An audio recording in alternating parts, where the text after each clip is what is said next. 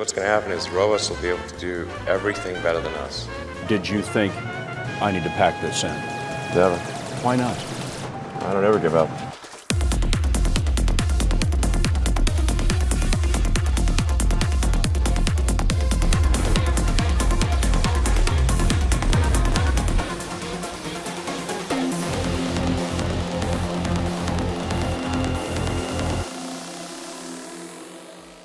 Elon Musk'ın kim olduğunu artık herkes aşağı yukarı biliyor. Peki ne yaptı da dünyanın en zengin insanı oldu? Sadece araba satıp uzaya roket göndererek mi? Tabii ki hayır. Serveti o kadar büyük ki saniyede 1000 dolar kazansanız bile ona ulaşmanız 457 yıl sürüyor. Kimine göre gerçek Iron Man, kimine göre yaşadığımız yüzyılın belki hatta tarihin en büyük mucitlerinden biri. Kimine göre kripto para konusunda yaptığı açıklamalarla tarihin en büyük manipülatörü. Kimine göre eğer yolunu gösterirseniz dünyadaki açlığı bitirebilirim deyip ardından sözünü yerine getirmediği için yalancının önde gideni, bazılarına göre ise yaşadığımız dönemin en farklı adamı. Tüm bunlara birazdan geleceğiz. Sizler için Elon Musk hakkında eşine az rastlanır bir video hazırlamak istedik. Çünkü alışılageldik iş insanı ve teknoloji lideri kapsamının çok dışında bir profil. Size öyle Güney Afrikalı bir ailenin çocuğuymuş, babası da Güney Afrika'da elmas madencisiymiş, 8 yaşındayken Britannica ansiklopedilerini bitirmiş, 10 yaşındayken 3 günde yazılım öğrenmiş, 12 yaşındayken oyun tasarlayıp 500 dolara satmış ve aslında Asperger sendromuna sahipmiş gibi her yerde bulabileceğiniz bilgilerle size bir hayat hikayesi anlatmayacağız. Birazdan duyacaklarınız sayesinde bir insanın birçok konuda tarihin akışını nasıl değiştirebileceğini göreceksiniz. Gelin yakından bakalım. Bugün artık hiç bilmediğiniz bir şehre gitseniz, hiç bilmediğiniz sokaklara girseniz kaybolmanız pek de mümkün değil. Açarsınız telefonu, harita üzerinden para lazımsa bankamatiği, acıktıysanız restoranı buluverirsiniz. İşte bu işin temelini atan şirket 1995'te kurulan Zip2 isimli şirketti. İstediğiniz bütün işletmelerin adres ve telefon numaralarına ulaşabildiğiniz haritalı online bir şehir rehberiydi. Elon Musk bu şirketi kardeşi Kimball ile beraber kurmuştu. 4 yıl sonra 1999'da kurdukları şirketi 307 milyon dolara Compaq'a sattılar. Ve az önce bahsettiğimiz o Zip2'nun hizmeti dönemin Google'dan önceki devi büyük arama motoru Alta Vista'nın bir parçası olarak hizmet vermeye başladı. Yani tıpkı bugünkü Google haritalar gibi. Back in 95, there weren't very many people on the internet, um, and certainly nobody was making any money at all. Most people thought the internet was going to be a fad. A year ago, Musk sold his software company, Zip2, which enabled newspapers to publish online for $400 million cash. Receiving cash is cash. I mean, those are just a large number of Ben Franklins. Kaç tane kredi kartınız var? Artık kazandığımız paranın yüzünü bile görmeden harcıyoruz. Hemen hemen hiç nakit taşımıyoruz. Ancak 1999'da durum pek de öyle değildi. O dönemlerde elimize almadığımız paraya yoktur hükmü veriyorduk. Öncesinde kızılötesiyle, sonrasından da internet üzerinden para alıp gönderme konusunda ilk çalışmayı yapan şirket X.com oldu. I think X.com could absolutely be a, a multi-billion dollar bonanza. Because if you look at the industry that X is pursuing, it's the biggest sector of the world economy. Yani cebi para gördüğünde ilk şirketini satıp bunu direkt dijital bankacılığa dönüştürmüştü Elon Musk. X.com 2000 yılında rakibine satıldı. Biz bugün o şirketi 2016'dan bu yana Türkiye'de kullanamadığımız PayPal olarak anıyoruz. So this is an ATM. What we're going to do is transform the traditional banking industry. Yani aslında bu satıştan kazandığı para 7 sülalesine yetecekken Elon Musk bu parayla bir uzay şirketi kurdu ve ayrıca bir otomotiv şirketine de yatırım yaptı. PayPal'ın yani Elon Musk'ın şu gördüğünüz 3 çalışanı şirketten istifa etti ve bu 3 çalışan 2005'te şu an bu videoyu da izlediğiniz YouTube'u kurdu. Alright, so here we are, one of the uh, elephants. İşe her gidiş gelişinizde her seferinde sıfır bir araba almak zorunda kaldığınızı düşünün. Ne kadar pahalı ve mantıksız olurdu değil mi? Yakın zamana kadar insanlar da dünya yörüngesine veya aya bu şekilde gidip geliyorlardı. Her seferinde yeni bir roket, yeni bir kapsül, milyonlarca ton yakıt ve milyonlarca dolar para heba oluyordu. Ta ki SpaceX kurulana kadar.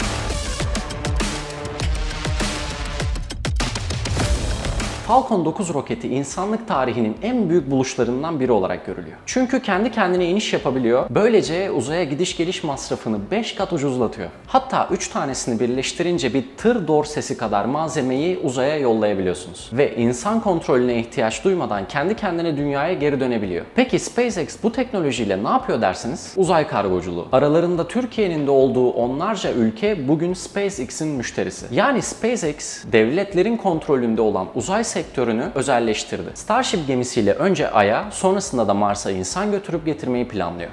Ama bu başka bir videonun konusu olsun.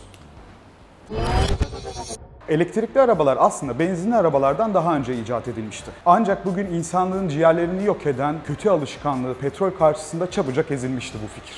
Zaman zaman denense de kimse bugüne kadar Tesla gibi başarılı olamadı. Çünkü bu şirket hem elektrikli hem otonom yani kendi kendine giden hem de rakiplerine kıyasla akıl almaz derecede ucuz arabalar üretiyordu. Aslında Tesla yola ilk başladığında da bu kadar başarılı bir şirket değildi. 2003'te iki tane mühendis arkadaş tarafından kurulmuş çok küçük bir firmaydı Tesla. 2004'te Elon Musk sadece 6,5 milyon dolar para vererek şirkete ortak oldu. 2008'de de şirketin CEO'su ve baş tasarımcısı olarak görev yapmaya başladı. İlk arabasını da aynı yıl 2008'de trafiğe çıkaran bu şirket bugün dünyanın en büyük otomotiv şirketi. Piyasa değeri 700 milyar dolardan fazla. Şirketin bünyesinde arabanızı hatta evinizi şarj etmenizi sağlayan SolarCity kiremit ve çatıları Tesla arabalarıyla aynı yapay zekayı kullanan insansı robotlar Tesla botları üretiliyor.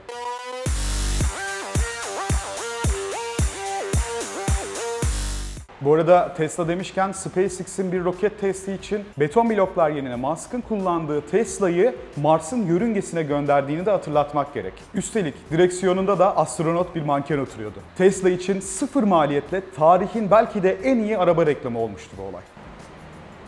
Anlaşılan daha Türkiye'ye gelmemiş. Aslında Tesla Türkiye'ye gelmeden hisse alarak siz onun ortağı olabilirsiniz. Normalde bunu yapmak için bankalarda binlerce dolar paranızın bulunması, her işlem başına 10 ila 35 dolar arasında komisyon ödemeniz gerekiyor. Ama yatırım uygulaması Midas sayesinde tüm bunlardan kurtulabiliyorsunuz. Yaklaşık 100 TL'ye yani yaklaşık 6 dolara Tesla, Apple, Microsoft, Amazon gibi şirketlerin bulunduğu New York ve Nasdaq borsalarına yatırım yapabiliyorsunuz ve bu şirketlerin ortağı olabiliyorsunuz. Yani kumbaranıza atsanız zamanla değer kaybedecek ya da hesabınızda tutsanız eriyecek olan para bu şirketlere ortak olarak tıpkı o şirketler teknoloji şirketleri gibi giderek değerlenebiliyor. Ayrıca Midas bu işlemlerden çok düşük miktarda yalnızca 1,5 dolar komisyon ücreti alıyor. Hesabınızı ilk açtığınızda da ilk işlemlerinizi tamamen ücretsiz gerçekleştirebiliyorsunuz. Ben de 5 dakika içerisinde Midas hesabımı açıp Tesla'dan hisse almıştım. Nasıl yapıldığını şuradaki videoda açıkladım. Midas'ı açıklamadaki bağlantılardan akıllı telefonlarınıza indirip ABD borsalarındaki binlerce şirkete yatırım yapabilirsiniz. Şimdi konumuza geri dönelim.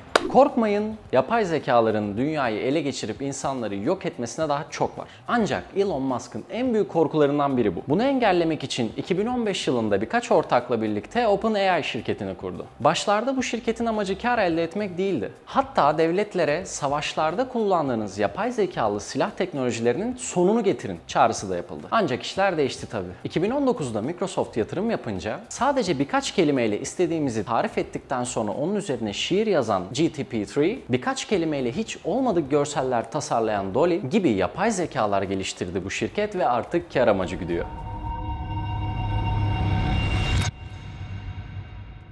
Bugün en mantıklı ulaşım yolu hangisi? Kara deseniz trafik var ve çok yavaş. E, hava deseniz kötü hava koşullarından dolayı pek de verimli değil. E, zaten her yere deniz yoluyla ulaşamıyorsunuz. Geriye tek bir seçenek kalıyor.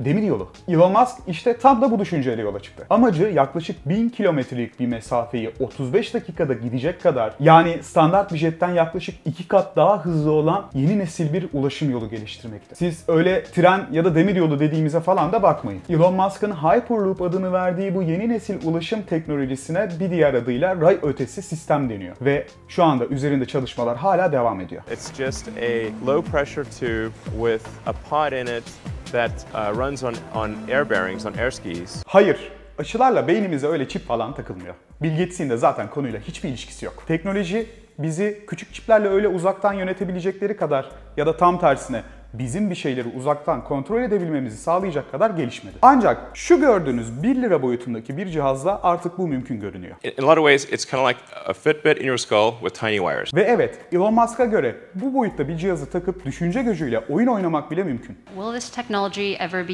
used for gaming? Yeah, probably.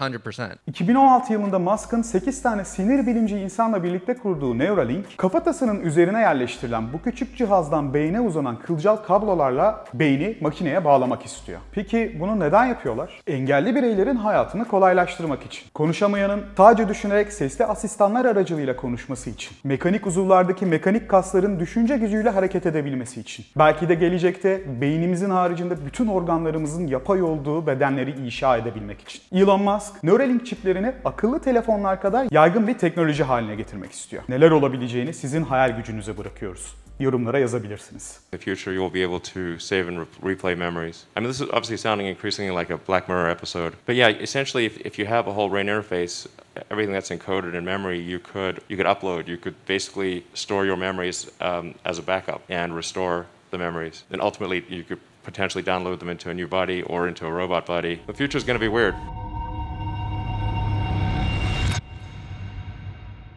İstanbul'un trafik sorununu çözmek için köprüler yaptık, boğazın altından tüneller geçirdik. Peki bu tünelleri yaşadığımız şehirlerin altından geçirsek, arabalar tren raylarının üzerindeki vagonlarda son sürat ilerlese, metro istasyonları gibi belirli duraklardan çıkabilsek nasıl olurdu? 2016 yılında Elon Musk tarafından kurulan The Boring Company bunu Los Angeles şehir merkezinde yaptı. Tabii tünel giriş çıkışlarında trafik hala sıkışıyor, orası ayrı. Bu arada tünelleri kazan dev makineleri yönetebilmek için Xbox oyun kolu kullanıyor. Çıkan artık toprak ve kayalarla da ucuz tuğlalar üretiliyor. Bu tuğlalardan elde edilen gelirlerle de yeni tüneller için maddi kaynak yaratılıyor. Hatta şirket paraya sıkıştığında bir alev silahı üretip satabiliyor bile. Yani delilik değil mi işte sınırı yok. Bu videoyu izlemenizi sağlayan internet bağlantısı yerin altındaki kablolardan geliyor. Yani bütün dünyadaki internet bir internet kafedeki bilgisayarlar gibi kablolarla birbirine bağlı. SpaceX bünyesinde hayata geçirilen Starlink projesi işte bizi bu kablolardan kurtarmayı amaçlıyor. Elon Musk ve ekibi 42 bin uyduyla dünyanın çevresini sapa sarmak istiyor. Türkiye'ye de 2023 yılında geliyor Starlink.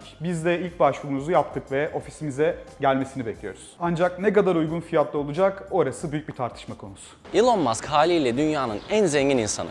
Parasının çoğunu Facebook'tan bile iki kat fazla zengin olan Tesla'dan sağlıyor olsa da serveti çok ciddi tartışmaların konusu oldu.